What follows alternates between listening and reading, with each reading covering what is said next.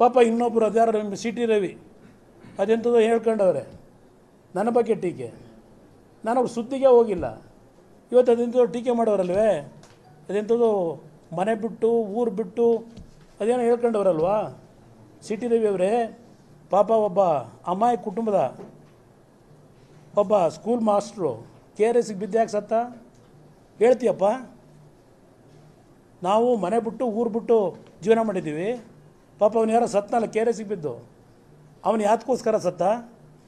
ಹೇಳ್ತೀಯಪ್ಪ city ಏನು ಇವರೆಲ್ಲ ಪತಿವ್ರತೆಗಳು ಇವರು? ನಾನು ಕಾಣದೇ ಇರೋ ಇವರೆಲ್ಲ? ಎಚ್ಚರಿಕೆಯಿಂದ ಮಾತಾಡಿ ನನ್ನ ಬಗ್ಗೆ. ನಿಮ್ಮ ಥರ ಕಳ್ಳ ವ್ಯವಹಾರ ಇಟ್ಕೊಂಡಿಲ್ಲ ನಾನು. ಮಾತನಾಡಬೇಕು ಅಂದರೆ. ಅದರಿಂದ ಇವತ್ತು ಈ ಮ ಬಿ ಜೆ ಪಿಯ ನಾಯಕರುಗಳ ಹೇಳಿಕೆಗಳನ್ನು ಗಮನಿಸ್ತಾ ಇದ್ದೇನೆ. ಯಾವಾಗ ಪ್ರಹ್ಲಾದ್ ಜೋಶಿಯವರು ಅಷ್ಟು ಲಘುವಾಗಿ ನಮ್ಮ ಕುಟುಂಬದ ಬಗ್ಗೆ ಚರ್ಚೆ ಮಾಡಿದ್ರು.